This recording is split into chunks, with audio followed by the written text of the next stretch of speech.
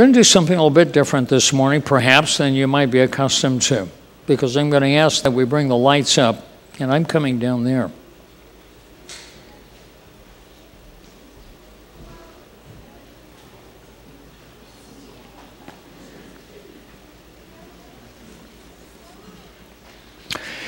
In the name of the Father, and of the Son, and of the Holy Spirit, Amen. Our focus this morning is out of that language. Let's bring up Acts chapter 1, verse 9, if we can. We'll take a quick look at it again.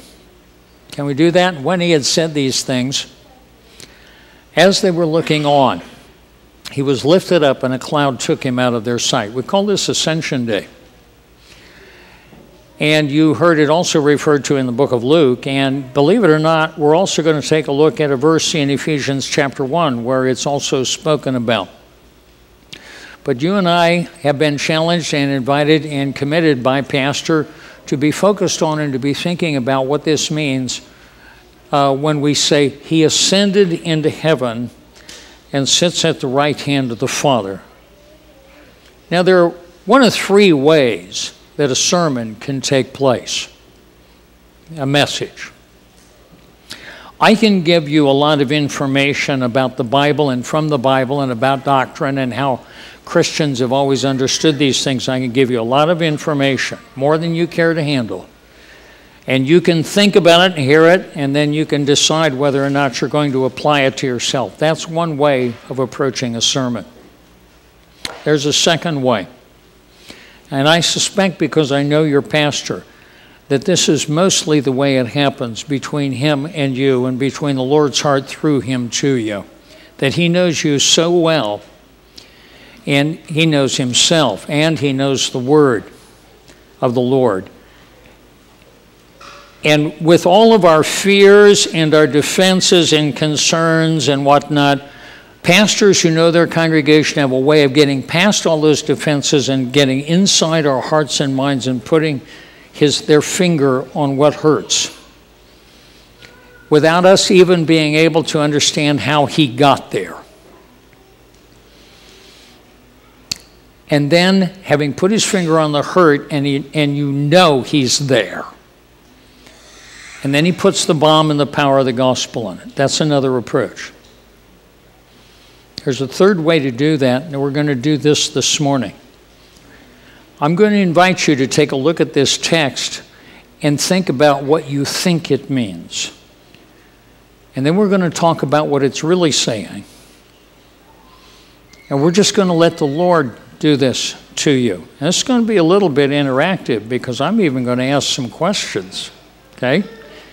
And it's okay to ask, answer, all right? Are you in confirmation class? Good. We'll put you on the spot. Sandwich. Now, I want you all to think about Sunday school also, okay? And Bible stories, everything else.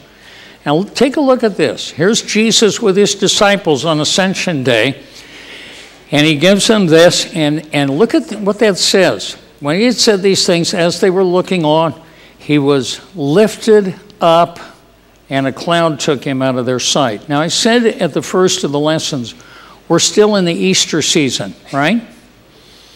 In fact, if we were upstairs in the liturgical setting, I'd have on my stole, which is white, because we're still in the Easter season. And next Sunday is Pentecost. Then we go into the whole 26 weeks where we talk about God the Holy Spirit operating in our lives to believe and know and respond to the Christian message. Now, Christ is risen from the dead. It's what we've been saying for seven or six weeks, right? All right, we said it again. Once he's risen from the dead, does he ever have to die again? Good. So the, the man, Jesus of Nazareth, is still alive, right? That's not a trick question. The man, Jesus of Nazareth, is still alive, right? So where is he? If he's still alive. That's what the world would say. If he's still alive, you know, show me the money. Where is the body? Okay? That's exactly what the, what the unbelievers couldn't prove. All they had to do to disprove Easter was to go and find the body in the tomb, but they couldn't. They had to explain it. But now Christians have a problem. If Jesus has been raised from the dead, where is he? There it is. He ascended into heaven, right? All right. He was lifted up, he ascends, and a cloud took him. Got it? Now, let's see. I'll ask where are the clouds?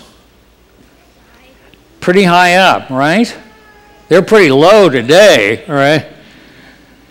But generally, the clouds, you can't just reach up and grab a piece of cloud, can you?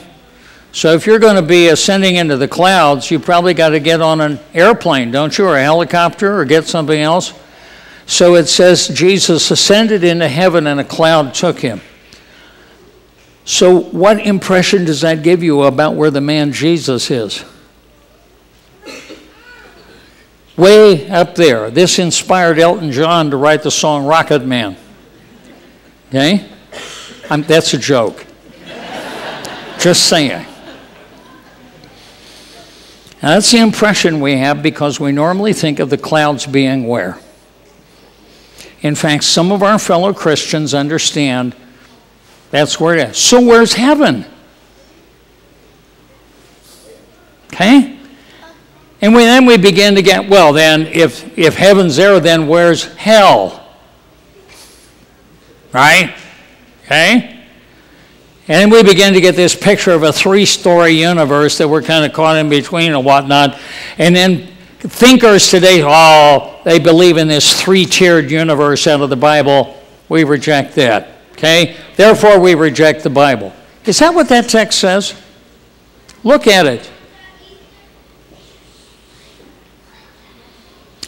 It only says that because that's the way we picture it because like our friend over here, here said, the clouds are way, way up there. The verb lifted up that's in the original does not mean that he took off like a rocket. It means to lift up your hands in prayer. How high do I have my hands? Not very high, right? They're not like a rocket, are they? Or like or it means to lift up a table so you can clean under it. How high do you lift up a table to clean under it? He's lifted up, and their attention is riveted on him. And then what does it say? It doesn't say he went into the clouds, it says a cloud took him. Now, everybody, from your Bible history. Every time a cloud appears in the Bible, what is it a symbol of? Old Testament, book of Exodus. The people of God are led out of Egypt and they spend 40 years in the wilderness. And by night, they have an absolute visible assurance of the presence of God that is right there with them. At night, it's a pillar of fire. What is it during the day?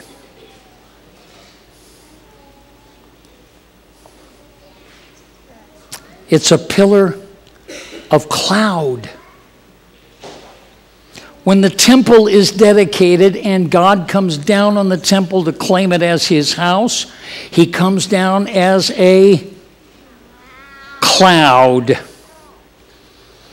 When Jesus is baptized and the Spirit comes down as a dove, there is also a cloud. She gets the sermon. You get an A in theology class. And a voice comes from the cloud. Whose voice is that? It's God the Father. When Jesus is transfigured, Peter, James, and John go up on Mount Hermon and they go into a cloud.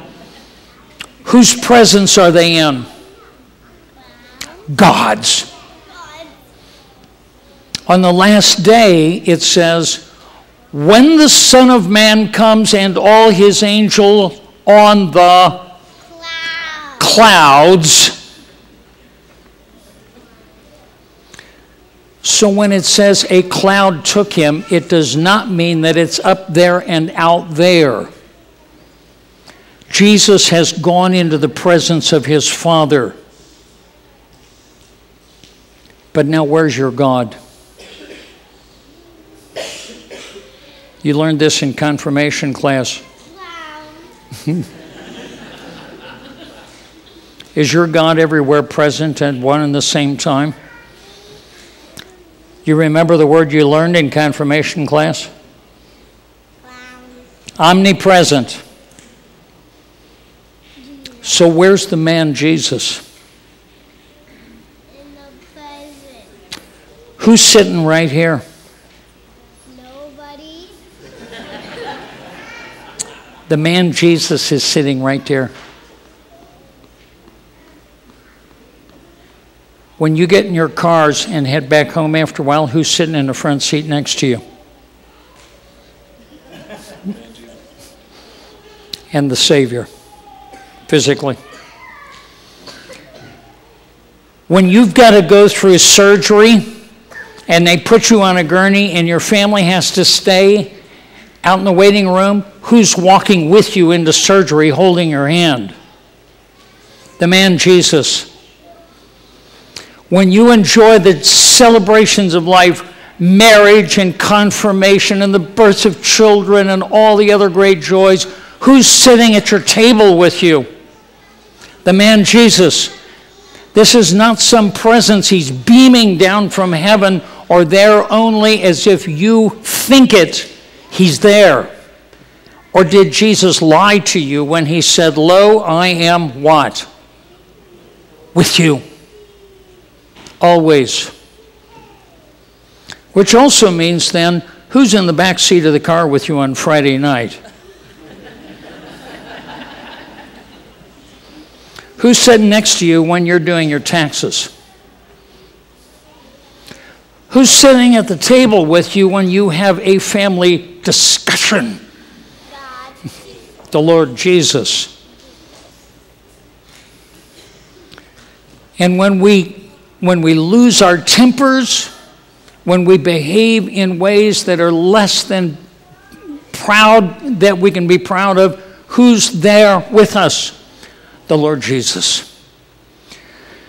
And when it comes to the point where you and I have to take our loved ones out to the cemetery and leave them there, and we come back to church and we've all got one another, and we leave them out there, who's holding them? The man Jesus. You are never alone. You ever have these nights? You ever have a scary night where there's lightning and thunder, or you're afraid because you're not feeling good and you cry out, Mommy, Daddy, where are you? You ever go through that? Sometimes. I do. And I'm old and you cry out, Mommy, Daddy, where are you? And they, come, they call from down the hall, I'm right here. Or maybe one of them comes running down to hold you, right? Sometimes. How many of you feel afraid in your life? How many of you feel afraid of where the world's going? How many of you yearn to know you're cared about and you're not alone in this world? What separates us from the love of God? Now, the only thing that separates us from God is sin.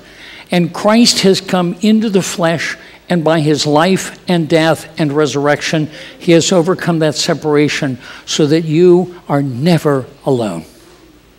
Never.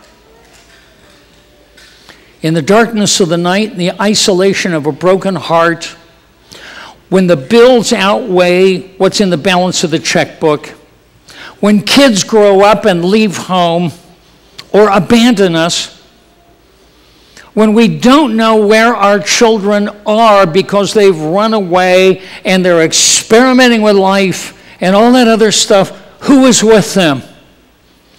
By absolute promise, the man Jesus. Because he said, I will never leave you nor forsake you. Never. So you're never alone. You and I are always in his arms. Now let's go to Ephesians chapter 1 verse 23. Please. Make it 22. Thank you. He ascended into heaven and sits at the right hand of the Father. What this means in ancient language is that Jesus is the Father's right hand man. It means that God has put the entire universe the entire universe under the authority and control of the man Jesus. There is not a thing that happens in this universe, but that happens either because Jesus commands it or allows it. And He's your Savior and He loves you. So that anything and everything that happens is a piece of Him making use of that for the sake, now verse 23, for the sake of the church. Does it ever feel to you like history is absolutely out of control, like everything is going to pieces? You have no idea where this world is going. We sang that in our first song, didn't we? All the language of that first song we sang this morning has entirely to do with that absolute assurance that things are in the hands of our God. When you and I talk about the name of Jesus, it is not a magic talisman that we are using. The name of God are all the deeds of God, but all of history and nature are the deeds of God. And so God is working all of history for His purposes, whether it's the everyday stuff you go through, like that young girl in school that broke your heart last week. Okay? You know the one I'm talking about. That you really like, but she just. the bills that you got to go through, the illnesses you're suffering that you don't even know about yet. And all the stuff we see going on in our history and our culture, that's all in the hands of God. And Jesus understands what it's like to be you. He's working all of it for the sake of His purposes that He reveals in the end. So when we say He ascended into heaven, we are absolutely being assured of it that you and I are not by ourselves and that everything truly is in the hands of God. Now, the last thing I'm going to suggest to you is that momentarily you and I are going to come and receive the body and blood of Christ hidden in the elements of bread and wine. It is as if the Savior is through the communion, not just saying, I'm here, but He is saying, Come here, let me hug you, and let you know you are not alone. You have nothing to be afraid of. That's why we say, I believe he ascended into heaven and sits at the right hand of the Father. In the name of the Father, and of the Son, and of the Holy Spirit. Amen. Earlier